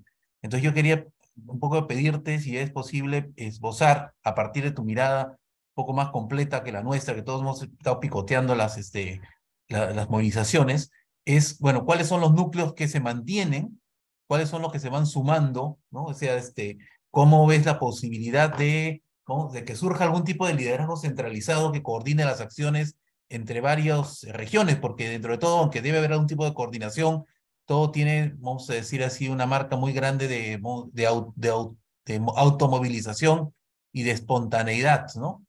Me gustó eso que dijiste, eso de la competencia por los radicalismos, ¿no? Entonces, este, ¿qué tantas posibilidades tienen en este contexto más bien las lógicas conciliatorias? Es decir, porque en, la dinámica de los conflictos estamos en el momento en el que la cosa se polariza cuando la cosa se polariza, el más radical gana más seguidores, ¿no? Pero, este, ¿cómo ves las posibilidades de transformar el conflicto, ¿no? ¿Y hacia dónde? Porque la cosa parece sencillamente, bueno, con más este, fallecidos y más muertos, la cosa no se va a simplificar para nada, sobre todo con la reacción automática, ¿no? Porque la reacción del Premier no es para nada una reacción que diga, mira, voy a reflexionar y ver si cambió mi estrategia, ¿no? Y esa es una pregunta un poco más para el colectivo, es decir, ¿cómo ven qué cosa es realmente el gobierno de Boluarte en ese contexto, ¿no? O sea, porque pareciera que todo este tema de el control de la seguridad interna no está en manos de la presidenta, digamos, ¿no? O sea, está claro que hay otros agentes que están ahí. Entonces, y mi última pregunta, digamos, tiene que ver cómo ves tú la lógica de más allá del pensamiento Willax, ¿no? O sea, este, ¿cómo ves el ala de los que miran y reaccionan frente a las movilizaciones desde la derecha? O sea, ¿qué reacciones hay? ¿Por qué eso es importante para imaginar un desenlace futuro? Es decir, hay un proceso de polarización muy claro, ¿no? Pero hay que ver qué otras voces están en la lógica más conciliatoria, que son, vamos a decir así, parte de las posibilidades de un poco de luz al final del túnel, que todavía se ve bastante lejano, ¿no? Gracias. Gracias, Alex. Vamos a ir con Marisa Glave. Hola, eh, Molvina, Omar, muchas gracias por, por, compartir con nosotros hoy día tus reflexiones. Yo tenía em, dos preguntas, eh, un, primer comentario. Em, tú has hablado, y creo que tienes razón, de esta especie de competencia por el radicalismo que en este momento comienza a ganar mucho más espacio precisamente por la reacción que tiene el, gobierno de Boluarte, ¿no? O sea, digamos, las declaraciones de Otárola el día de ayer eh, señalan pues que evidentemente se viene una fase represiva aún más fuerte, ¿no? Y eso lo que hace evidentemente es fortalecer aún más a eh, liderazgos mucho más radicalizados, ¿no es cierto?, que son los que están empujando hacia agendas maximalistas. Eh, sin embargo, yo sí me pregunto, digamos, en esta hay varias preguntas que ya te han hecho sobre si hay afanes, posibilidades conciliatorias, en fin, Alex acaba de preguntarte también si hay posibilidad de, algún tipo de negociación. Eh, yo me pregunto y te pregunto a ti si eso es posible sin una medida fuerte que genere realmente un cambio del escenario. Es decir, eh, yo creo que sin la salida de Ina Boluarte, lo digo con sinceridad, es muy poco probable que esos liderazgos más radicalizados sean reemplazados por algunos más moderados o por algunos más conciliadores. Necesitaría, creo, eh, que existiera algún elemento que permita un, cambio muy fuerte en la coyuntura. Y entonces se me ocurren, pues no sé, que eventualmente el Congreso aceptara la pregunta de la Asamblea Constituyente, por ejemplo, que lo veo aún más lejano que la renuncia de Dino Boluarte o eh, la renuncia de Boluarte, ¿no? Una segunda, em, digamos, reflexión que te pediría y que creo que nos pediría en general es también pensar en, los niveles de solución, ¿no? O sea, yo creo que el adelanto de elecciones no es pues una solución de largo plazo, evidentemente. O sea, la solución al problema de fondo que tenemos no se va a resolver con un proceso electoral en ocho meses o en un año y medio. Es decir, la diferencia en hacer las elecciones en septiembre o en hacer las elecciones en abril del próximo año no es enorme. Van a ser prácticamente los mismos actores que hoy tenemos en el escenario político. Entonces, atrasar la decisión del proceso electoral seis meses a la espera de qué? De, la reforma de qué? ¿De este Congreso? ¿Este Congreso va a poder hacer alguna reforma de algo que no sea algo que les convenga eventualmente y tirar para atrás lo poquito de reforma que ya se había hecho eh, y que simplemente ha quedado como congelada justamente por decisiones del Congreso? Eh, mi impresión es que pretender que en este momento se logren soluciones de largo plazo eh, son, es irreal, ¿no? O sea, que creo que en ese momento eventualmente lo que se puede hacer con las elecciones es dar un respiro, no es como un enfermo de cáncer, ¿no? O un enfermo con una enfermedad muy grave y bueno, das paliativos pues para, para el dolor, ¿no? Entonces eh, me da la impresión pues que las elecciones será eso, ser eventualmente un paliativo que nos permita eventualmente pararnos un rato, ¿no? Pero no será la solución de fondo, pero hasta que tengamos la solución de fondo no podemos seguir en el contexto en el que estamos ahora, ¿no? Gracias, Marisa. Tenemos eh, dos pedidos más de palabra, Eduardo Bayón y Alberto Adriancén. Vamos con Eduardo. Gracias, eh, Omar, por la, por la presentación y gracias, Molvina, por, darme la palabra. Este, a ver, dos o tres comentarios y eh, eventualmente algunos datos.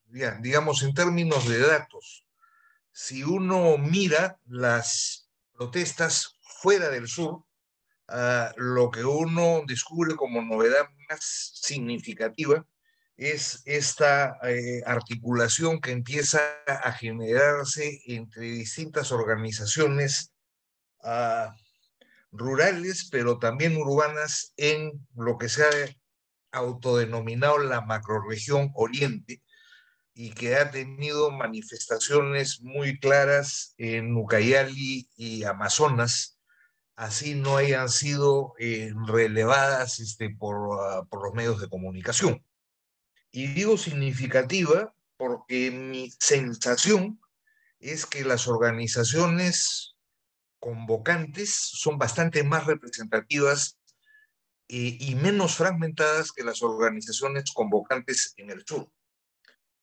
Ah, y esta es una primera cuestión, digamos, que la asocio al primer eh, tema que quería plantear, y es, eh, digamos, la lógica del sur y el papel de Arequipa en la lógica del sur.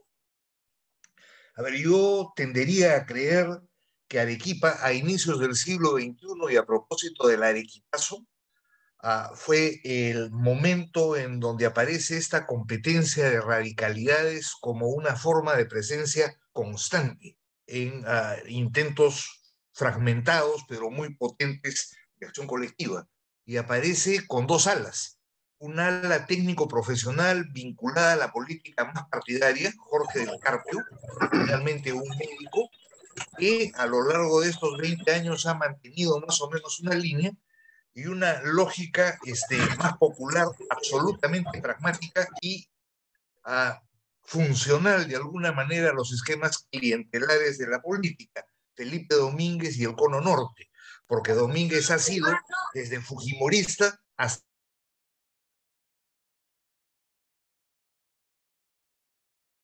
Eh, tu micrófono creo que se apagó. Eduardo. Ya, ya. desde, desde Fujimorista hasta de Patria.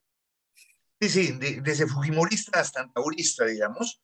Eh, fue de patria también en algún momento, tras haber sido o habiendo sido un constante negociador, extorsionador de Juan Manuel Guillén y su gestión y de frecuentemente las relaciones con Cerro Verde. Ya.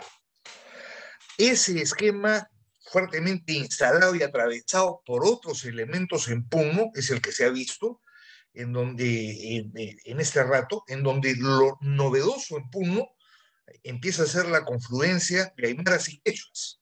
Y empieza a ser la confluencia de aymaras y quechuas en la lógica de la movilización, aunque diferenciando territorios.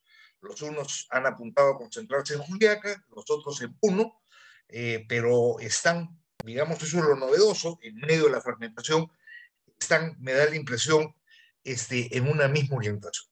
Ahora, creo que estos discursos de secesión nacen fundamentalmente desde el mundo aymara ah, y tienen una historia en este siglo larga ah, que tiene que ver con los sucesos de Ilave, ah, que digamos Carlos Iván de Gregori, por ejemplo, mirara este, con, con, algún, con algún detenimiento.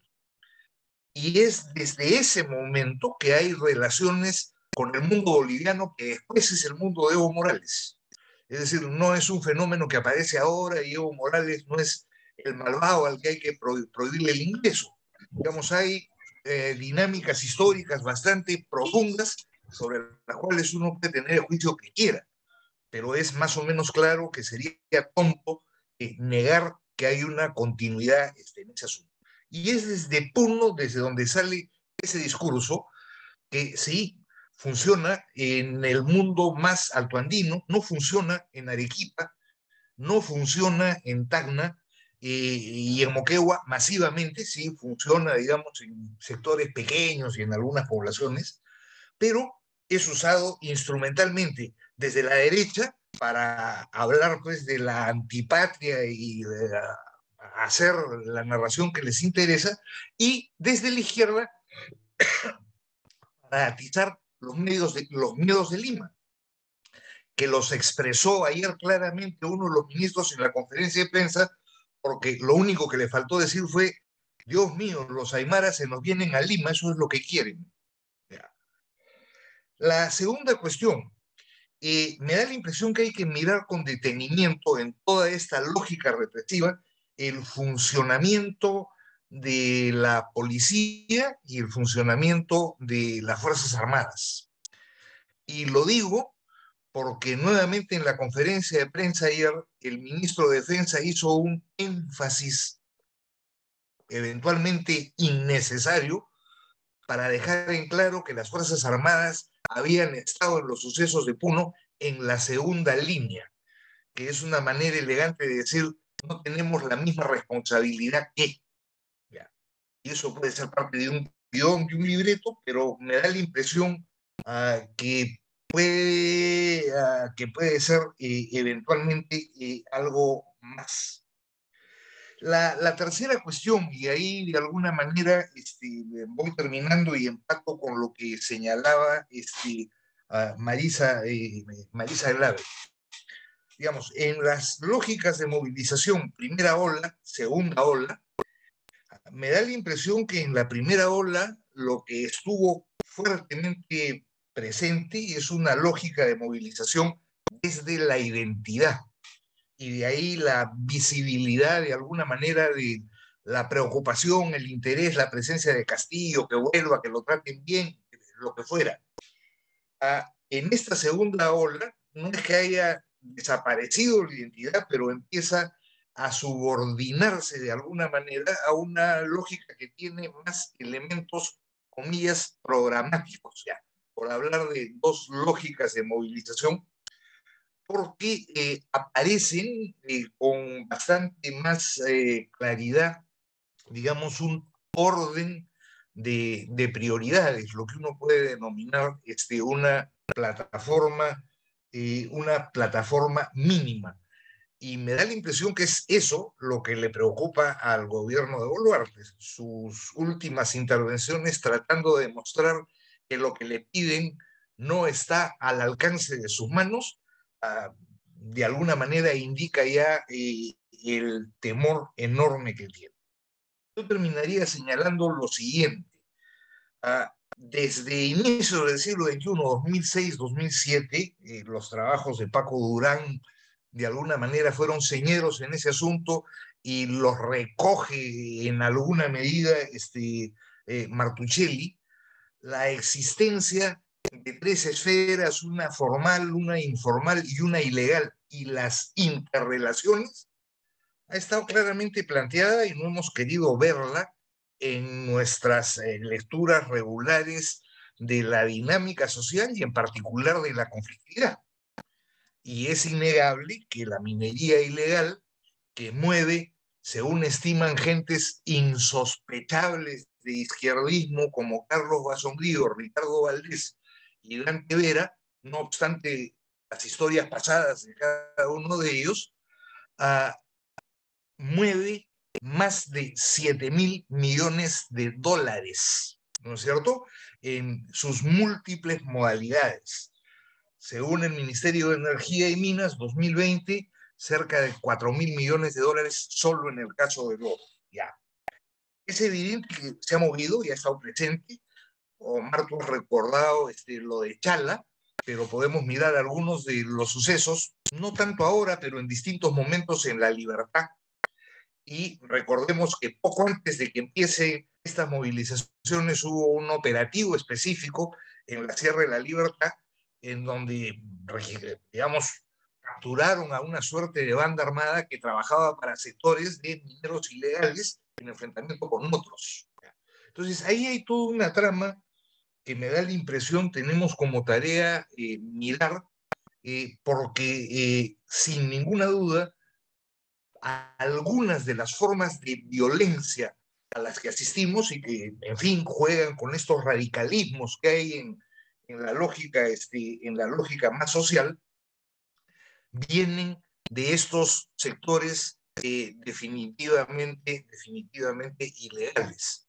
Y es cínico, por decirlo menos, que desde el Estado y desde el Congreso, que han sido los principales promotores y protectores de buena parte de estas actividades los últimos 15 años, se pretenda descubrir hoy día que ahí hay un problema y que ese problema está articulado, no sé, a las múltiples fantasías y temores interesados de terrorismo que tienen. Gracias.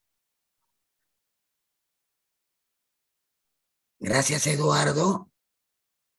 Vamos a ir con Beto y de ahí ya le voy a dar la palabra a Omar para que no se le pasen preguntas o comentarios. Y quería decir también que hay unos comentarios en el chat, que no sé si los habrás visto, Omar, para que puedas también tenerlos en cuenta.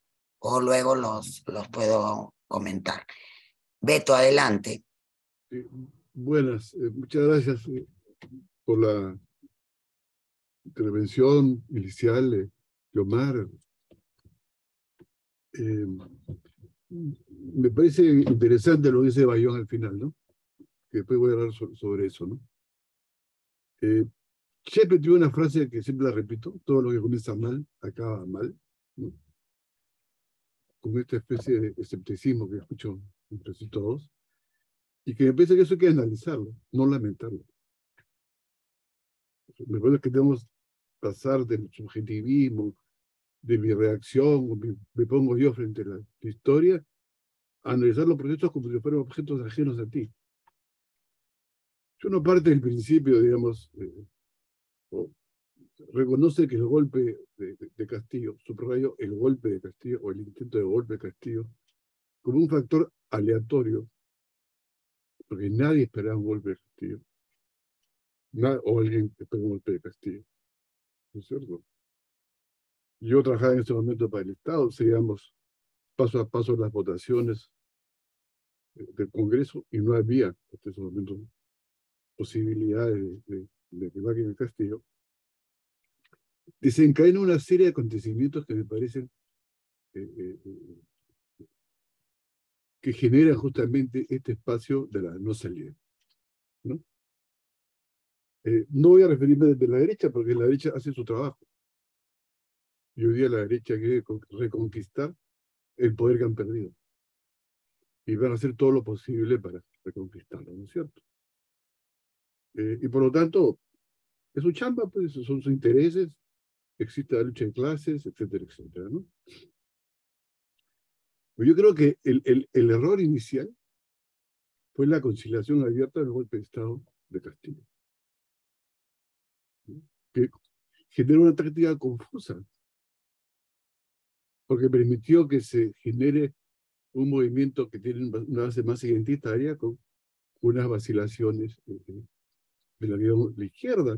Hay un comunicado de la izquierda que, que, decía libertad para Castillo, que luego por queja de Patria Roja fue borrado, ¿no? circuló brevemente, y después una serie de comentarios este, eh, que comienzan los comunicados con el golpe de ultraderecha, qué sé yo, como si el golpe de Castillo no existiese. Entonces, no te permitió establecer una continuidad entre la democracia y una salida democrática. ¿No es cierto? Yo les recuerdo que eh, eh, eh, América Latina no es la primera vez que hay un proceso, cosas parecidas a estas. Lo han habido en, Venezuela, lo ha habido en Brasil, lo ha habido en Bolivia, lo ha habido en el Ecuador, lo vio en Argentina, lo vio en Paraguay. ¿No es cierto? Y por lo general yo asistí a varios de esos procesos, inclusive asistí más de cerca al Leo. Eh, eh, siempre han buscado una continuidad constitucional, cosa que está ausente en estos momentos. ¿no? salvo una pequeña excepción, el año 2000, cuando cae Mawad, que se crea un triunvirato y, que dura un día, y después vuelve el vicepresidente, ¿no es cierto? Pero aquí ha querido, o sea, esta, esta, esta especie de silencio o complicidad con Castillo, ¿no es cierto? Que nos lleva en algunos casos a omitir la existencia de un intento de golpe y efectivamente establecer y, tener una continuidad constitucional con Dina, más allá de lo que uno pueda pensar de Dina. Dina estaba, todo el mundo sabía que Dina estaba negociando desde marzo su ingreso al gobierno. Y todo el mundo sabía, si están enterados, que Castillo estaba recontra peleado con Dina, y tan así que cuando quería, no podía viajar Castillo al extranjero, Dina le pedía a Landa, dígame, y Castillo la vetaba. Y una semana antes del golpe, Dina se paseó por todo el Parlamento, bancada por bancada, negociando el problema. Entonces, lo que yo veo eh, eh, eh, en estos asuntos es que hemos, ahora viene el mantra, pues, ¿no? Que renuncie Dina Boluarte, que entre Williams. Y con la fantasía que es posible generar una mesa directiva parecida a la, a la, a la, a la, al ¿no es cierto? Se puede medir. El problema de, de, de, de, de, Merino es que la, eh, eh, la crisis se produjo en, Lima, no en Puno. Y por lo tanto, como pasó con Lucho Gutiérrez en el año 2005, que la crisis se produjo en, Quito y no en Guayaquil o en otro sitio.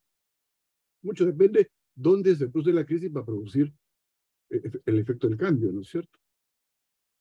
Entonces, estamos en un callejón sin salida, pues porque el, mantra que renuncie Dina y si Dina no quiere, esta es una dictadura cívico-militar. Cívico-militar, dictadura fue Fujimori. Este es un gobierno represivo de derecha, ultraderecha, como quieran calificarlo. Pues no es una dictadura cívico-militar. Entonces hay una especie de sobrevaloración, digamos, una especie de fantasía que estamos frente al fascismo, al neofascismo y todo lo demás, y por lo tanto hay que combatir hasta el final. Y eso es producto de la táctica equivocada. Equivocada. O sea, en política las tácticas eh, eh, importan, como dice Lenin, la correlación es la verdad. Entonces, sí es importante comenzar a reflexionar en esos términos y no en que la derecha es mala, bruta, chorada, fascista, qué sé yo, para ver en ti mismo cómo te has equivocado al manejar un proceso como esto, ¿no es cierto?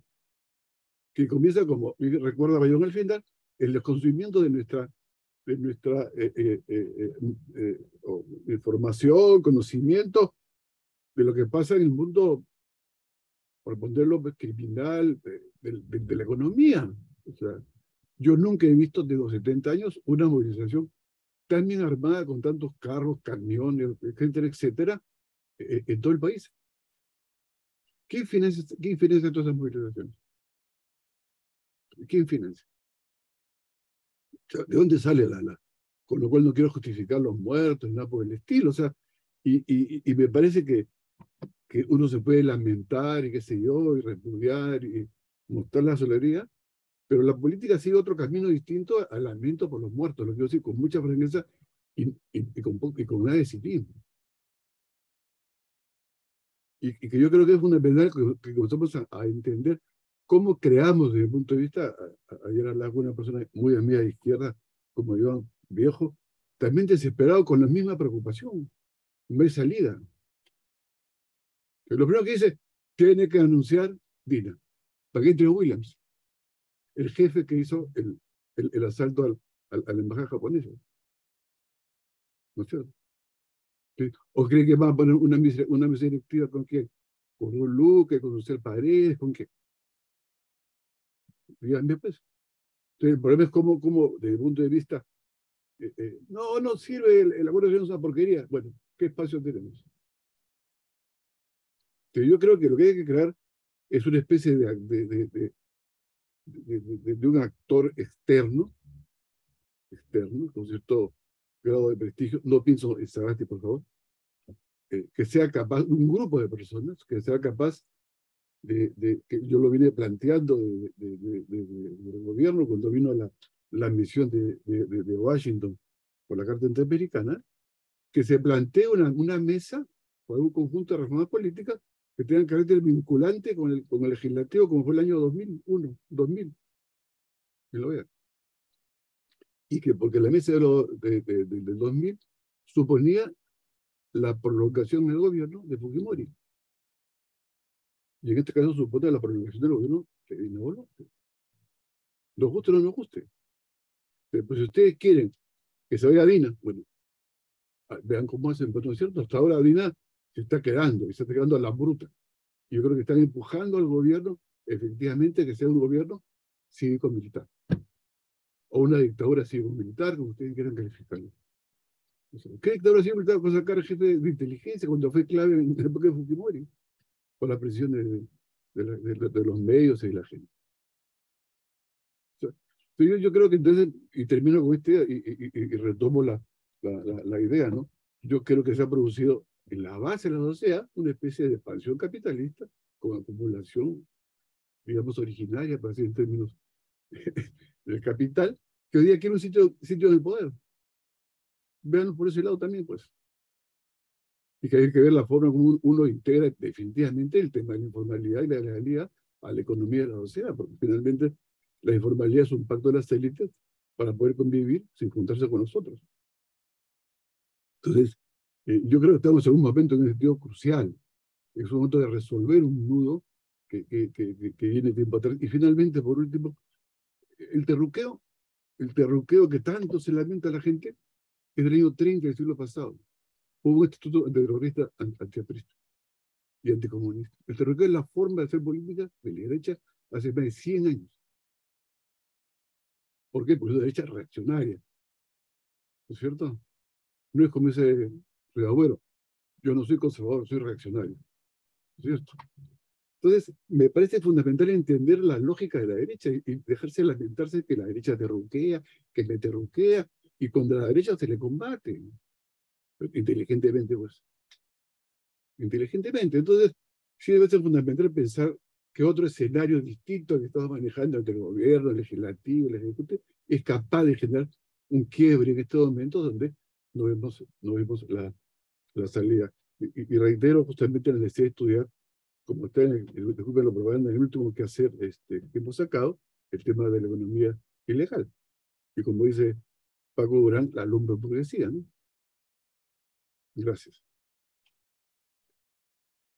Gracias, Beto. Este, Jos, lo tuyo es corto para ver si te doy la palabra ahora o, o esperamos para otra ronda. Sí, corto, Molvina, por favor. Ya. Gracias, gracias a, Omar por la exposición. Yo solamente quería dejar algunas cosas en, este, antes de, pasar a las, a, las respuestas de Omar. Eh, yo me preguntaba, ¿no? Este, ¿Qué tipo de democracia tenemos? ¿Es realmente una democracia la que vivimos? Porque creo que también esas preguntas es la, eh, se está moviendo mucho en, estos tiempos, ¿no? Una democracia que representa en realidad siquiera a la mayoría de, las y los peruanos. Eso por un lado. Y otro, creo que no, no podemos este, negar también este afán eh, que se está viendo últimamente con mucha más fuerza de despolitizar a, estas masas, entre comillas, a, la población no limeña, ¿no? deshumanizando y también asumiéndolos como incapaces. Y aquí algo también, ya para cerrar mi intervención, eh, y lo digo con mucho respeto, no, no coincido con lo que mencionó este, Beto. Eh, creo que no, el, el, hecho de que la población eh, en provincias pueda llegar a Lima, use vehículos para movilizarse, creo que eso no puede hacernos asumir que de por sí alguien los está financiando. ¿no? Creo que hay un, hay un nivel de conciencia y, y ese mismo nivel de conciencia que nosotros tenemos que reconocer de la población no limeña, eh, también nos debe llevar a asumir que son eh, ciudadanos eh, con derechos políticos y que, los, y que ahora están exigiendo que, que se respete esos mismos derechos. Gracias. Gracias, Jocelyn. Entonces, este, Omar, te dejo unos minutos para comentar o responder lo que tengas a bien. Sí, gracias. Molvina, me vas avisando cuando, me, cuando ya sientas que el tiempo es demasiado excesivo, porque, claro, hay varias cosas que, que, que me gustaría comentar. Eh, sí, mil gracias por las preguntas, por los comentarios, ¿no? Yo, todo esto me ayuda un montón igual para ordenar lo que tengo en mente ah, y agregar temas, ¿no? que, siempre este, hay cosas que a veces uno no le presta tanta atención, que son, que tanta atención que son muy relevantes para entender lo que está pasando. Eh, las primeras intervenciones sobre todo se vinculaban al tema de, del qué hacer. ¿no? Eh, Armando hablaba sobre, claro, esta, esta, sensación de diálogo imposible, de alto al fuego, quiénes podrían ser mediadores. Eh, la Iglesia Católica y algunas iglesias evangélicas han, tenido un rol importante ¿no? este, a la hora de mediar conflictos en los últimos, de mucho antes, ¿no? pero sobre el estudio sobre todo va en los últimos 22 años. Eh, mi impresión, sin embargo, es que se ha ido agotando en parte porque no ha habido, eh, a pesar de que ya no está, digamos, eh, Cipriani como cabeza de la iglesia, sobre todo en Lima, ha habido un cierto silencio e inclusive los comunicados han sido, la mayoría de los comunicados han sido bastante moderados, como tienen que ser, obviamente, ¿no? Pero en esta sensación de simetría de actores, ¿no? ni los unos ni los otros deben hacer este tipo de violencia, que ahorita se percibe como algo prácticamente de derecha en, los, en las movilizaciones. ¿no? Yo también a veces me fascina un poco esas, esas falsas simetrías, ¿no? en el sentido de que claramente hay un actor que está utilizando una, un tipo de violencia y, una, y de una forma mucho más ilegítima que, que otros, al menos desde, desde, mi, desde mi perspectiva, ¿no? Eh, entonces, eh, me, cuesta pensar a la iglesia como un actor que puede ahí tener algún, que puede tener mucha legitimidad, ya inclusive desde cuando Castillo intentó negociar, ¿no? Este, que se involucró al cardenal Barreto, este, hubo mucha, hubo mucha presión en en contra de él, ¿no? Y en general ahorita las manifestaciones, sobre todo por la Marcha por la Paz, por ejemplo, en Ayacucho, liderada por la Iglesia, en el contexto en que se dio, el día en que se dio, justo un día después de la masacre, con la gente que participó, no participó la gente de las protestas, sino participaron básicamente gente más cercana, algunos comerciantes y a la policía, ¿no? Después de esa marcha por la paz muy débil, apareció más bien la, la, el recorrido fúnebre con las víctimas de la masacre de Ayacucho por la plaza con lo cual se sentía otra vez, ¿no? La iglesia está con estos otros, ¿no? Con el pueblo no, no, no está. Eh, ahí creo que hay micro que, que se encendió que Pero eh, entonces por eso la iglesia no tenía, no, siento que no tiene la fuerza que, que podría, me cuesta pensar, igual las cosas cambian constantemente en el país, ¿no? Ahora vi un comunicado de la mesa de lucha de concertación y lucha contra la pobreza, que yo recuerdo que tenía actores bien importantes otra vez en estos, sobre todo en la década pasada, ¿no? Este, antepasada, digamos, para ayudar a solucionar conflictos. No sé hasta qué punto todavía esos actores tengan mucha representatividad, ¿no? La, Asamblea Nacional, eh, gobiernos regionales tuvo un rol importante sobre todo en el primer ciclo de esta, esta, primera fase en diciembre, ¿no? algunos, al menos de los representantes de la Asamblea Nacional, me parecían tenían, podrían ser un espacio interesante para tratar de, de, pensar en algún diálogo, ¿no? Pero antes de ese diálogo, tiene que, como varios de ustedes decían, tiene que ocurrir algo, una demostración. En teoría de acción colectiva siempre hablamos, ¿no? Del problema de, eh, del compromiso creíble, ¿no? En verdad es un concepto que se utiliza desde para tratar de pensar en guerras civiles, eh, y lo hemos jalado para también la teoría de movimientos y protestas sociales. Pero en verdad es bien importante el tema del compromiso creíble. Ahorita con el gobierno de Boluarte no hay forma de que haya un compromiso creíble, al menos para la gran mayoría de actores que están protestando. Eso nos lleva a que efectivamente tiene que salir y eso va a solucionar algo, no necesariamente, pues Beto también, este, ahora, ahora voy a comentarlo un poco más.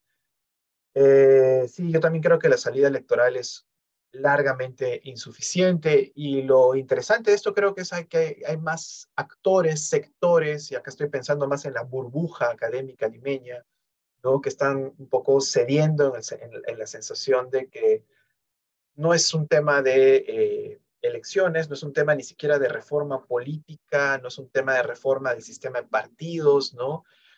Para que el sistema de partidos represente, y acá vuelvo un poco a tocar la pregunta última de Jocelyn, ¿no? Sobre qué tipo de democracia. Claramente, o sea, los indicadores internacionales reportan la democracia peruana como una democracia débil. ¿Qué significa eso? Una democracia donde están las instituciones, pero no funcionan como deberían funcionar. Generalmente los politólogos en Perú van más allá, vamos más allá y obviamente decimos que no solamente es que las instituciones no funcionan bien, sino que hay un quiebre de la representación. Democracia, democracia liberal eh, eh, implica representación, ¿no? Eh, para que haya representación, representación tiene que haber partidos. El problema es que en Perú no hay partidos, ¿no? no hay un sistema de partidos y tampoco hay partidos. Eso hace que uno elija y el que sale elegido hace exactamente lo opuesto o no tiene ninguna vinculación con su promesa, con su programa, etc. Eso defrauda la promesa democrática.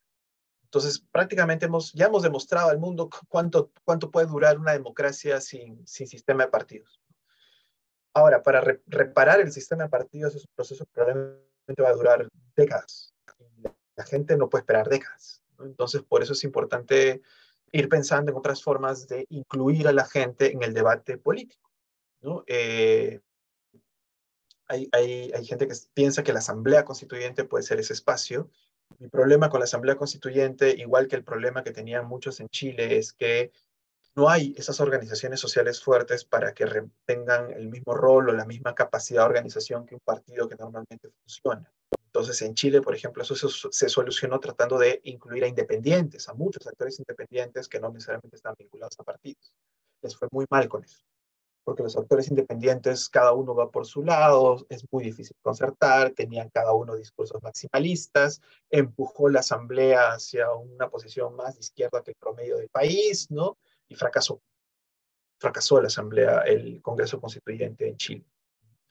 Eh, si eso pasaba en Chile, donde los movimientos sociales son más fuertes, ¿no? donde los partidos de izquierda existen y son más fuertes, como comparativista pienso en lo que podría ocurrir en Perú y me da, eh, y me da pavor, ¿no? porque los, los, las organizaciones políticas más fuertes en Perú que probablemente entrarían a la asamblea no son las que están pensando, las que están pensando muchos en la izquierda. ¿no? Eso significa que la Asamblea Constituyente debe quedar fuera, debe ser una palabra prohibida, como dicen muchos, sobre todo economistas, ¿no? No, no o sea, yo creo que es importante eh, empezar a, lo que como yo le planteado, parar ¿no? la Asamblea Constituyente eh, o preparar un espacio de debate más amplio. Lo malo es que, claro, yo no soy abogado y no tengo muchos, no, no, se me ocurren muchos, este, no tengo mucha creatividad porque no es mi campo de expertise de cómo hacer esto. ¿no? O sea, ah, pensando en el caso chileno otra vez en perspectiva comparada, tres años antes del estallido, Bachelet propuso una asamblea constituyente y una primera etapa era justamente porque Bachelet y la clase política de izquierda en Chile sabían que en el Congreso no se podía agotar el debate porque la gente en, el en los partidos en el Congreso de Chile ya no representaban a Chile, tenía que ampliarse y abrir cabildos en base a las, territorialmente en función a las comunas, que son el equivalente a los distritos. ¿no? Eh, eso implica un enorme costo organizativo, etcétera, ¿no?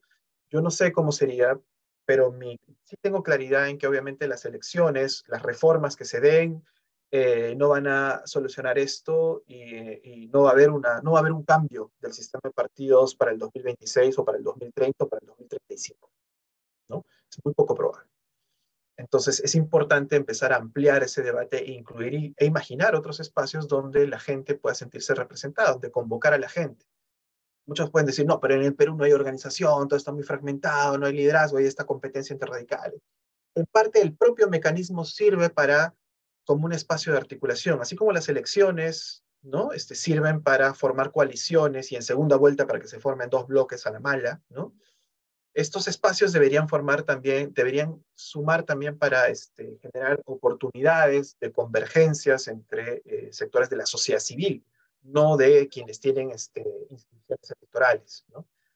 Solamente para, eh, eh, igual es, algo que estamos pensando en voz alta varios, en la católica en particular, este, en sociales de la católica en particular, no tratar de, de imaginar Cómo, cómo ir más allá de este parche que puede ser las elecciones o la promesa de reformas que obviamente no, no van a cambiar sustantivamente nada.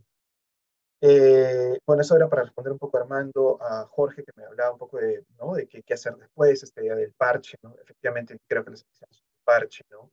Eh, efectivamente, creo que AIDCEP es diferente, ¿no? Jorge mencionaba el tema de AIDCEP, y este, me parece que eh, Eduardo también mencionaba el tema de las organizaciones de Oriente.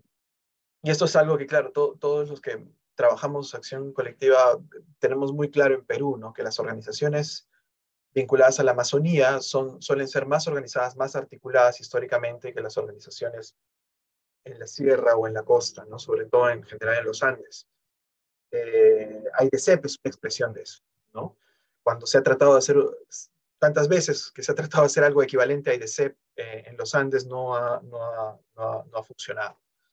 Los motivos ya serán eh, explicación de otro, de otro, discusión de otro, de otro momento, pero es así, ¿no? Eh, y claro, por eso también es que, es, como decía Eduardo, ¿no? Las organizaciones en la Amazonía sí tienen una mayor capacidad de articulación y por más que no estén ahorita en los reflectores, no puede pensar en lo que probablemente tiene más capacidad de resistir la protesta venga, venga de ahí, ¿no? Protestas de largo aliento más y mayor capacidad de obtener un programa, ¿no? Etcétera.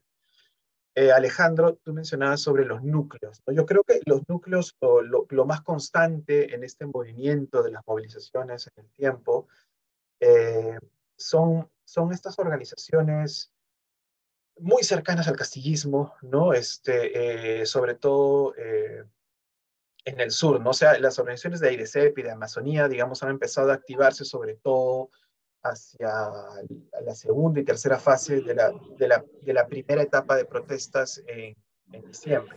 Pero lo que está desde el inicio, digamos, y se ha mantenido, son sobre todo estas organizaciones más de base vinculadas a organizaciones agrarias que eran muy cercanas a Castillo, sobre todo a través de la, de las, de la CNA, eh, y este, más que rondas inclusive, eh, frentes de defensa locales, provinciales, este, regionales, ¿no? que también desde el inicio, desde el 9 de diciembre se han mantenido, o sea, es este bloque más castillista, ¿no? este, el que a lo largo de, estos, de este mes se ha mantenido, digamos, en la protesta. ¿no?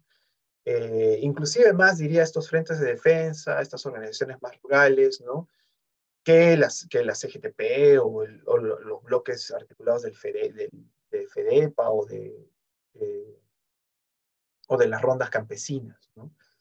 Eh, y ahí tú preguntabas sobre la articulación, ¿no? Si, ¿Qué posibilidades a futuro hay? ¿no? ¿Qué posibilidades de coordinar? Porque ahí está, efectivamente, hay, eh, como decía, ¿no? heterogeneidad de actores, demandas y repertorios, esta competencia de, entre radicalismos, ¿no? Y efectivamente eso hace bien difícil pensar en una coordinación a, corto plazo. Como decía Eduardo, yo creo que sí hay mayor coordinación por experiencia previa en el caso de este, la Amazonía. Mi impresión es que comparando Puno con Arequipa, al menos quizás, quizás estoy equivocado, pero mi impresión es que en Arequipa hay un poco más de coordinación que en Puno. ¿no? Es también por experiencias de cooperación previas, ¿no? Cooperaciones tensas, ¿no? Este, con problemas, este, pero en perspectiva comparada con Puno creo que más que Puno. Eh, eh, pero eso hasta ahí llega, ¿no? No, veo todavía una capacidad de, hacer una, planificación grande. Ahora, en Chile también era todo muy fragmentado y muy diverso al inicio del estallido y recién se va, digamos, organizando un comando de lucha, igual que en Colombia, a lo largo de la protesta. O sea, los estallidos suelen no solamente este, surgir porque hay organizaciones detrás, sino también a veces durante los estallidos aparecen este, organizaciones, los estallidos promueven este tipo de articulaciones, ¿no? Eh, depende mucho del tiempo también, ¿no? Este, si esta va a ser una lucha de más largo alcance, es más probable que en esa lucha eh, eh, algunos sectores de la macro región sur empiecen a coordinar. Es bien difícil igual porque, como, dice, como decían otros, es importante tener una plataforma mínima, ¿no? El tema Castillo es una piedra en el zapato a veces para, para algunas de estas organizaciones, ¿no? Para las más castillistas obviamente no, pero este, para la suma de otras organizaciones, sí. Inclusive el tema de la Asamblea Constituyente, cómo llevarla, ¿no? ¿Quiénes van a integrarla? O sea, cuando la gente se sienta realmente a pensar cómo va a ser esto, cómo va a ser la convocatoria y eventualmente cómo sería ¿no? el escenario de una asamblea, eh, hace muy difícil que esto, esto, esto prospere rápido fácilmente. Eh, y el tema de la derecha yo creo que es, es, es bien, es bien importante, ¿no? Este, como también decía eh, Beto, ¿no? Este, a diferencia ¿no? del estallido del 2020, donde hay 94% en contra de Merino, ¿no? ahora no hay ese consenso para nada.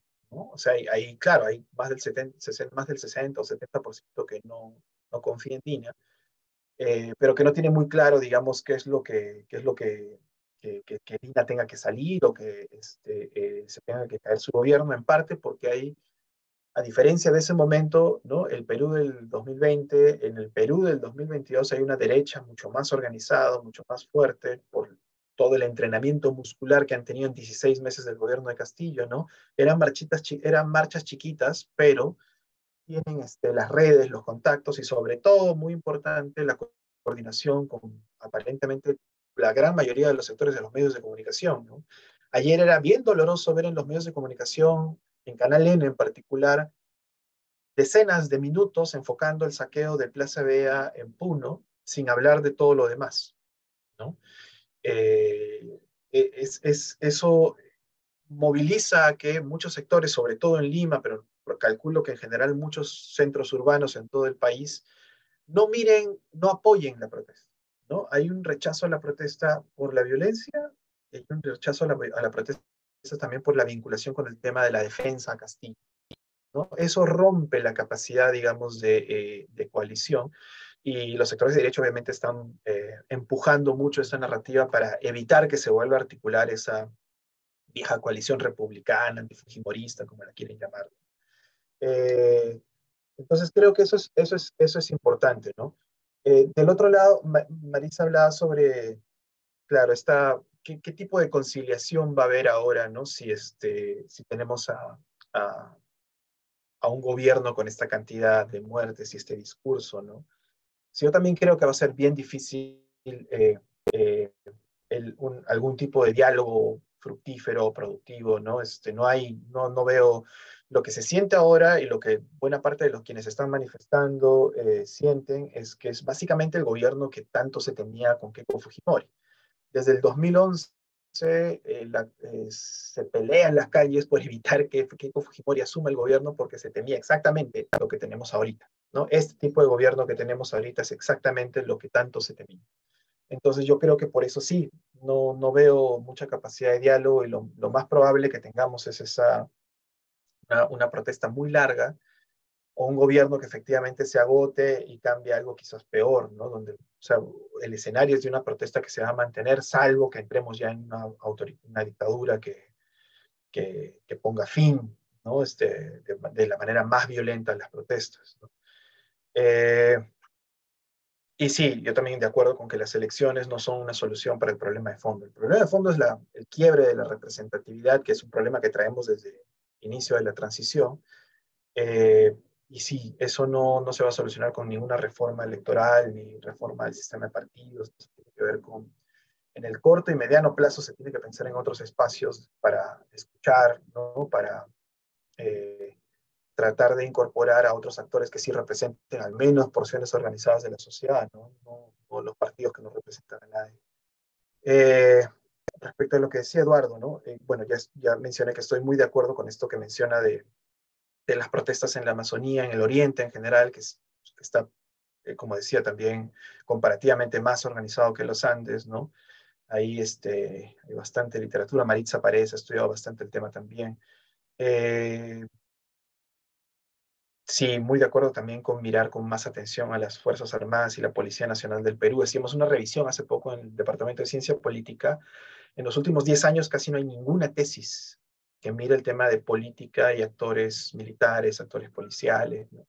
Hay muy poca investigación sobre el tema, muy poca investigación reciente, más allá de investigación periodística. Es un tema que justamente es difícil pues investigar, ¿no? Por, justamente lo, el tipo de actores que existe, pero cada vez es más claro que, que, que, las Fuerzas Armadas tienen, parecieran tener este, eh, una lectura muy, muy cerrada de cómo funciona la política en el país. Están persuadiendo a actores civiles ¿no? de implementar una reacción ante esos enemigos de la patria.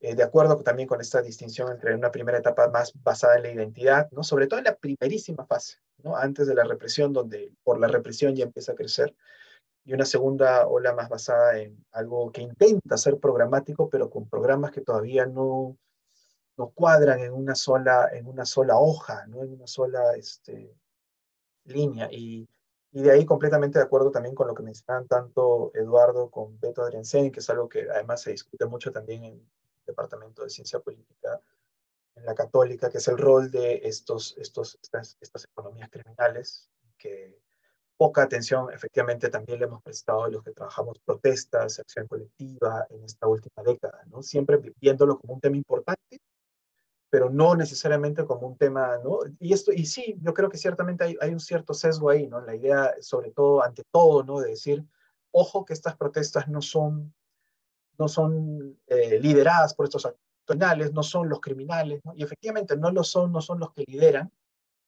pero sus recursos, su presencia, como, como mencionaba también Eduardo, no solamente en el caso que mencionaba, en varios otros casos, en el norte, ¿no?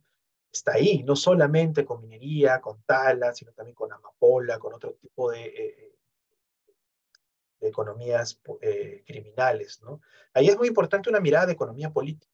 De economía política para entender la protesta social, para entender en sentido más amplio a los desafiadores del Estado, ¿no? que es como, como generalmente se ve en, ciencia política, que los desafiadores que protestan cada vez están más vinculados con desafiadores vinculados a economías criminales, que tienen sus propias organizaciones y representación también. ¿no? Eh, y finalmente, con respecto a lo que decía eh, Beto, sí, muy de acuerdo con, a mí me molesta mucho el mito Castillo, me molesta mucho porque efectivamente eso ya pensando también más por, por mis preferencias eh, normativas, ¿no? Eh, siento que el mito Castillo ayuda a consolidar el, el, quiebre, ¿no? No quiebre, la fragmentación de lo que fue alguna vez esta coalición antifujimorista. yo entiendo, yo como yo lo veo, se ha venido desgastando rápidamente entre el 2016, la elección de Kuczynski, que termina, digamos, de reventarse en la campaña de segunda vuelta del 21 y todo durante todo el gobierno de, Castillo, ¿no? El mito Castillo que hace pensar que todo esto es causa de la derecha y de su oposición y su radicalización, ¿no? Este, que Castillo era simplemente un presidente acosado, ¿no? Que no tiene culpa de nada. Eh, y que la gente que lo rodea además no tiene culpa de nada, es, es peligroso, es porque le da batería, justamente como decía Beto, a, a, a las derechas. ¿no? ¿Por qué? Porque sí ha habido corrupción, sí ha habido autoritarismo, ha habido un golpe. ¿no? Este, eh, desconocer eso ¿no? Hace, eh, ayuda a esta simetría entre eh, extrema derecha y extrema izquierda que impide cualquier coalición en el bloque que pueda, que pueda reaccionar esa extrema derecha que ahorita está encabezando el gobierno. ¿no? Bueno, una coalición diversa, pero donde la extrema derecha, el pensamiento Willax, que yo le digo, está ahí muy fuerte. Yo creo que sin, esa, sin, esa, sin ese reconocimiento, sin esa, ¿no? Este, sin procesar el mito Castillo, va a ser muy difícil forjar una coalición suficientemente amplia para responder a la amenaza que tenemos ahora en Palacio de Gobierno. Eh, pero también sé que es difícil porque el tema de Castillo es un tema de identidad, es un tema muy emotivo. O sea, ahorita quien, a quien se defiende no es al Castillo de carne y hueso, sino al Castillo que está en el imaginario popular de representación de uno como nosotros. ¿no? Eso, es, eso es bien difícil pues, de cambiar. ¿no? Y, sí, me imagino que ahí actores son los actores políticos, en fundamentalmente los que tienen que también pensar ¿no? cómo, cómo, cómo pasar, cómo, cómo solucionar ese, ese impasse. Eh, bueno, ya para terminar, en verdad, eh, sí, o sea, sobre las soluciones que plantea Beto del actor externo, sí, yo también, claro, siento esta, este pesimismo que uno sentía luego de, de, la marcha de los cuatro suyos que no termina, ¿no? Que termina en tragedia, 28 de julio del 2000. Hay esta sensación de, bueno, si una mesa de la OEA nos, hay que simplemente resistir, ¿no? Mientras va a durar este autoritarismo. Yo creo que eso es, puede, estar en la, eh, puede persuadir a un sector, pero eh, no sé qué tanto eso persuada a gente en el sur y a la gente que está en las calles, ¿no? y lo más peligroso es que no creo que haya liderazgos que puedan ayudar a, canalizar esas otras salidas, no sean esta de la mesa, tipo, algo tipo mesa OEA del 2000 o algo alternativo, inclusive lo que yo estoy pensando con cabildos o lo que sea. ¿no? Eh, es, es, es, es, un escenario pues, que no, no, no hace, hace que no tengamos posibilidad de ser muy optimistas. Eh, sí, eso sería todo. Eh, ahí creo que Beto tiene la mano alzada. Sí. Gracias, Omar. Beto, ¿querías comentar algo? Breve, por favor. Solo si va a hacer la síntesis, te dejo un poco más. Este, fíjate, yo no, he dicho que toda la movilización esté, eh, ¿cómo se llama? Eh, pagado, financiado, como quieran calificarlo por, por las economías criminales. Simplemente digo que hay que investigar, que es un mapa entre protesta social y economía criminal no, no lo tengo, no puedo opinar, ¿no? Dos, fíjense, cuando se dio el, el, tema de la Carta Interamericana o Democrática, esa cuestión de lo de se pensó en dos personas para articular una propuesta fuera de las cosas más, más, más políticas, ¿no? Una de la defensora, que tiene un buen, buen, un buen ver, como se dice, y el otro es el presidente de la conferencia episcopal, que es claramente distinto a Barreto. Él ha derrotado a Barreto. Yo hablé con el presidente de la, de la conferencia episcopal. Notorio más bien de salir de este conflicto Castillo-no Castillo y plantear una cosa. en realidad, la idea es crear un, un, un, espacio externo al conflicto, con cierto grado de legitimidad, que permita que la gente dialogue. Porque nadie dialoga, que mata, simplemente. ¿no? Mata. Entonces, por eso es lo que digo, estamos en la obligación de crear algo distinto y salir de la trampa de Castillo, no Castillo, si fue golpe, no fue golpe, etcétera, etcétera, que a mí me parece francamente bochornoso, ¿saben por qué? Porque conduce a una salida fujimorista nuevamente, cerramos el Parlamento. Entonces el fujimorismo de esencia es lo que hizo Vizcarra, que comenzó la crisis hasta ahora, que cerró el Parlamento y casi la mayoría de gente aplaudió de la izquierda, que no tiene el sentido de la continuidad democrática en el país más allá que sea insuficiente, lo que ustedes quieran. Pero no es una dictadura. Esta democracia. ¿no es cierto? Entonces, yo sí creo que comenzar a entender que además, y termino con esta idea, que estamos en un ciclo democrático. Lo que ha pasado en Brasil me parece gravísimo y anuncia un poco lo que va a pasar en el futuro. Y por lo tanto, la defensa de la democracia es un tema fundamental en una táctica política. Yo no quiero hacer análisis político, en fin, ¿no? Pero sí, las tácticas son fundamentales, cómo los políticos se comportan, qué proponen, qué juegos tienen, y, tener la conciencia que esta derecha es muy reaccionaria, que no va a permitir que vuelos. Y esto se da patadas limpias. Pero tienes que inclusive pensar el cuadro para darte patadas. Y no forma espontánea, qué sé yo, como está pasando hoy día. Es, el culto al, al, al, espontaneismo. Y como yo me trepo a la ola de protesta justa que hay en muchos sectores por parte de, partidos o grupos o personas. Esa es mi reflexión y no, insisto, para ellos no creo que, no voy a decir que todo está financiado y que tengo miedo que vengan los Aymara. Mi papá de Huacabamba, cerca a la, tierra de, Castillo, no te preocupes. Entonces, este, eh, eh, me parece eso es fundamental entenderlo, ¿no? Y creo que hay que usar actuar de manera política y no moral.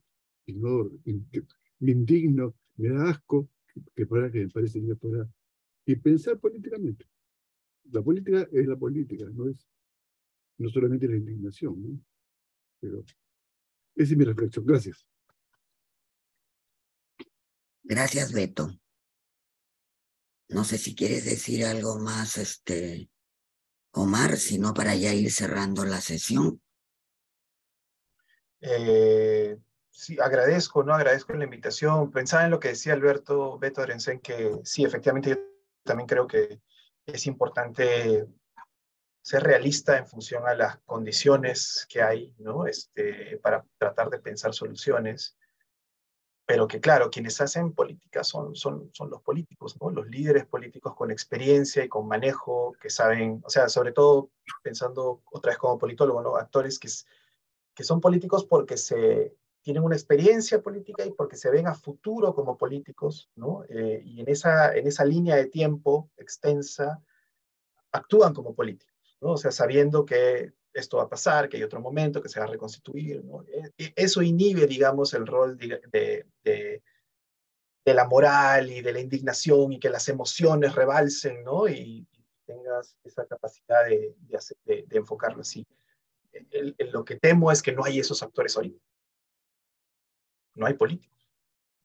En el sentido beberiano de la palabra, ¿no? Sino más bien este, actores que justamente están propensos a dejarse llevar por esta indignación, esta rabia, rabia anticomunista o rabia antifascista, eh, como, se está leyendo. Y sí, o sea, lo que me llevo es eso, esa, sensación de ausencia quiénes pueden ser estos actores externos, quiénes pueden ser estos que intermedien, quién queda con legitimidad en el Perú.